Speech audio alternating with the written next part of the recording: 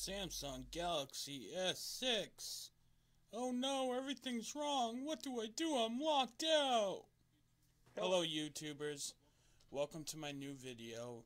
In this video, I will show you how to get back into your phone if say you've gotten locked out or if something happened uh, where your kid or something stored a fingerprint and um, you know you, you you don't know the password and you just can't get into your phone anymore.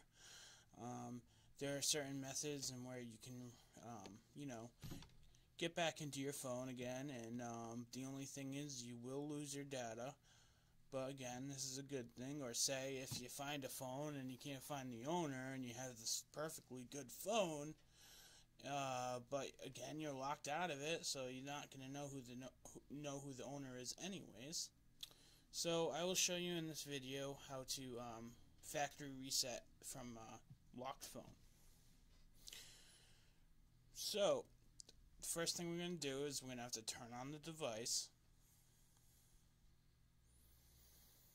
And now, see, trying the fingerprint. It's not working, not letting me in. Whatever shall I do?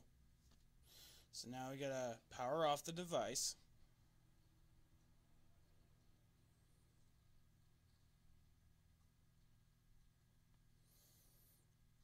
Okay, now here's the important thing.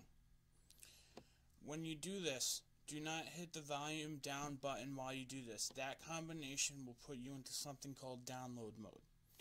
And unless you're rooting a device, you don't want to be in download mode in this instance, you're going to press a button combination of the home button, the power button, and the volume up button.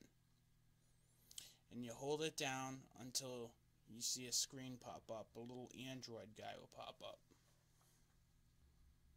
Okay, so again, power button, home button, and volume up button. This will bring you to what is called the stock recovery. Now, if you do this, and you see something called TWRP come up, uh, TWRP recovery or clockwork mod recovery, do not do a factory reset on that method because chances are if you did find the device and you do that, that means it was rooted. Um, and if it was rooted, there are more in-depth ways of how to, um, you know, get the phone back by reflashing the stock firmware. But the thing is, when you have uh, custom mods on there, um, and when you you just don't know if you have custom recovery on there, if you have any like custom uh, OSs or anything. So in that case, you don't want to do anything like that. But see, this is what the stock recovery looks like. It gives you op options to reboot system now. Um, and but the, what you want to do is you want to go to um, wipe data factory reset. So what you got to do is use the volume keys to scroll down and then the power key to en press enter or acknowledge. So wipe data factory reset, press the power button to select it.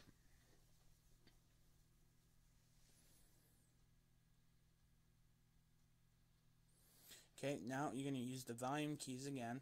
And you're going to scroll down to yes and then you're going to select that. And then that's it. Um, what will happen now is uh, it'll factory data reset.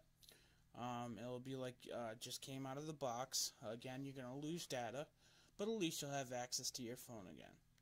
So thank you for watching this video. I hope it helped you. Please like and subscribe and uh, share it with your friends. Thank you